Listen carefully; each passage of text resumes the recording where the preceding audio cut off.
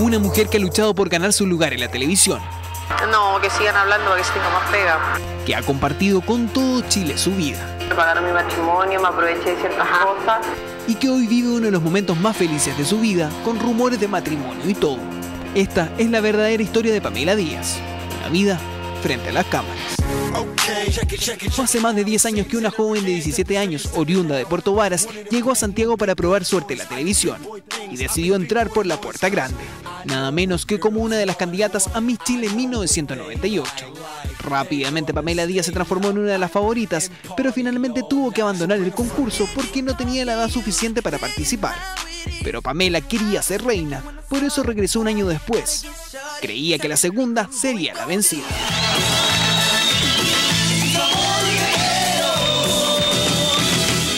La suerte y la votación no la acompañó.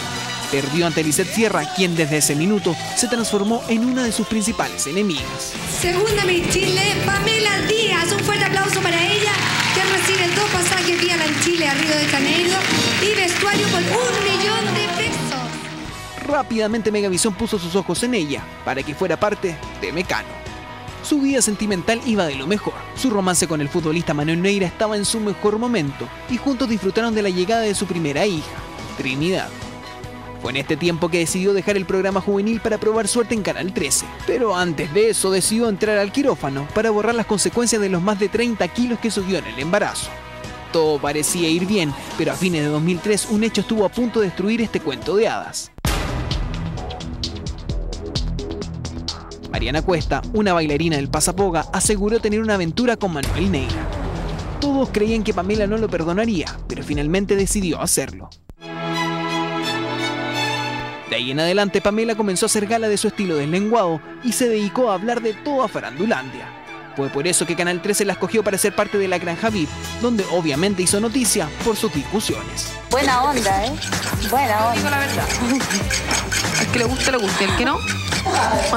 Pero mientras ella trataba de sobrevivir, afuera, un nuevo escándalo comenzaba. De la noche a la mañana, Manuel Neira se vio envuelto en un caso policial, luego de comprarle a Pamela más de 140 mil pesos en joyas, las cuales resultaron ser robadas.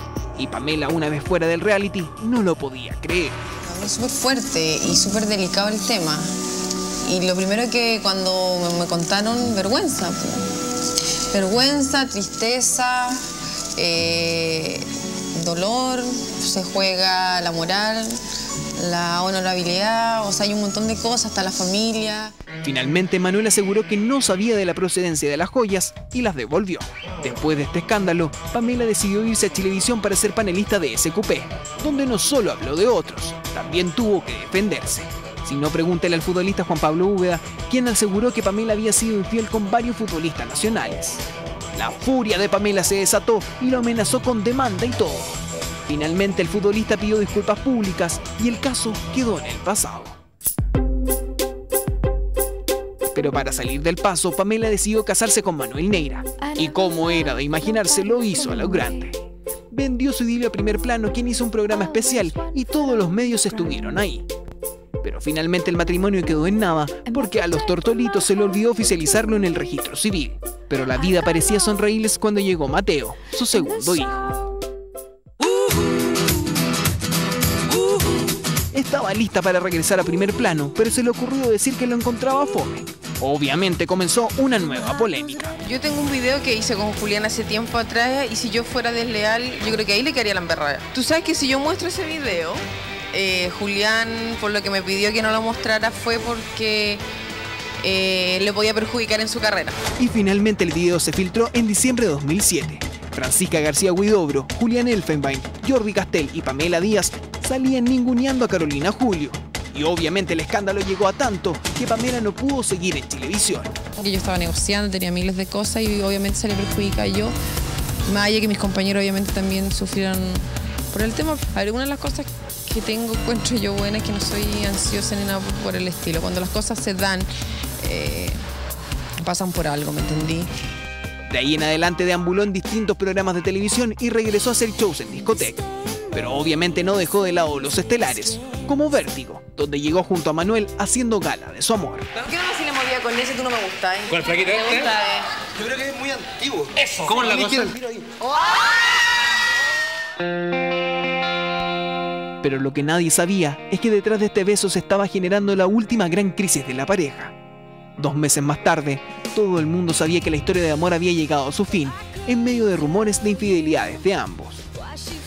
Así como tomé la decisión de casarme, de unirme a Manuel, también he tomado una decisión de, de separarme y estar bien.